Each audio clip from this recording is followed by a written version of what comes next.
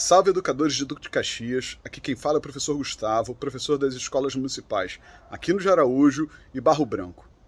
Estou aqui para declarar meu apoio aos companheiros que integram a Chapa 1 para as eleições do Sindicato Estadual dos Profissionais de Educação Núcleo Duque de Caxias. É fundamental que nos somamos a essa luta.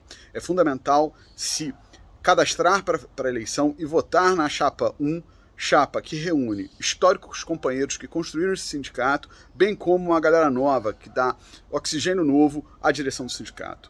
Os últimos anos foram muito difíceis, mas também foram anos de resistência. Novas primaveras virão, e só que isso apenas regados pela organização e luta da classe trabalhadora, particularmente dos trabalhadores da educação. Por isso, nessas eleições para o sindicato, vote Chapa 1 e organize-se. Só a luta muda a vida.